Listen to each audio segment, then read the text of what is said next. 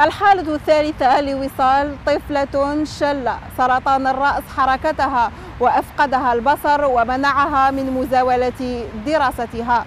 فرغم إمكانية العلاج إلا أن قلة الإمكانيات حالت دون تحقيق حلم العلاج. تابعوا.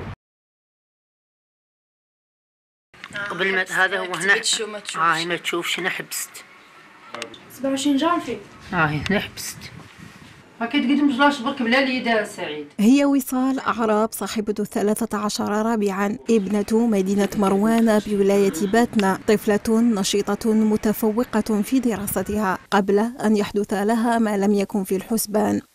نتائج التحاليل والكشوفات تؤكد أنها مصابة بسرطان في الرأس. وشيئا فشيئا بدأت حالتها الصحية تتدهور حتى فقدت البصر نهائيا. أنني حابة منكم جميع المحسنين إنه يتفضلوا ويعاونوا أختي وصال راهي كل يوم تضيع عندها خمس شهور ولات ما تشوفش وقاعدة في البلاصة. كانت تقرأ عادي في الفصل الأول سنة أولى متوسط قرأت كملاتو. الفصل الثاني حبست آه، باسكو كانت تطيح ما تشوفش صحاباتها حبست. آه، كانت تمشي عادي ودوكا عندها عامين وهي مريضة. أنا وليت ما نشوفش عندي عامين وأنا مريضة.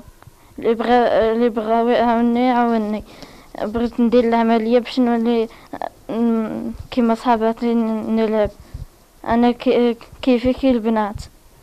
وعلاه ما درتيش العمل ما ما كانش المبلغ. المبلغ كبير. شحال؟ 700 مليون. وين؟ في الترك. ها قعدي قعدي وصل كملي نحيلها نحيلها على راسي تقارير طبية تشير إلى إمكانية شفاء هذه البرعمة بعملية جراحية خارج الوطن لكن عوز العائلة المتكونة من ثمان أفراد على رأسها والد بطال حالة دون تحقيق حلم عودة بصر وصال التي اشتاقت لرؤية والدتها واشتاقت للعودة إلى المدرسة. انقطعت عنها بتاريخ 27 جانفي المنصرم منذ بداية إصابتها بالعمى والأمل اليوم معلق على الله ثم على المسؤولين والمحسنين معا. 27 جون هاكم تشوفوا في وضعية بنتي.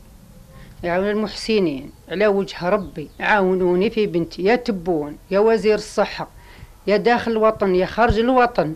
شوفوا حالة بنتي والرايحة تتعب. والعملية تاعها راهي قالوا ناجحة. عاونوني في وجه ربي. هاهي قدامكم وتشوفوا في حالتها. يا وزير الصحة يا تبون عاونوني. والله كي ما تشوفش توحش تشوفني.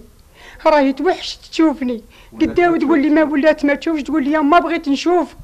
راهي حبست القراية في النص. أنا توحشت المدرسة تاعي توحشت القراية تاعي توحشت شجاعة طفلة في عمر الزهور تقاوم مرض السرطان القاتل بخفة روح وضحك لا يتوقف إلا عندما يشتد بها الألم في تصرف انعكس إيجابيا على جميع أفراد العائلة الذين يتعاملون مع مرض وصال بكل ثقة وعزيمة وإصرار على اتخاذ جميع أسباب العلاج ومن هذه الأسباب نداء المحسنين عبر قناة النهار.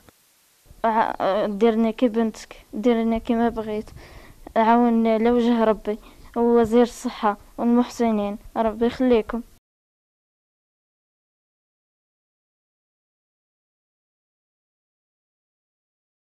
مشاهدينا هذه الحالات بحاجة إلى الدعم ومد يد العون فهل من مجيب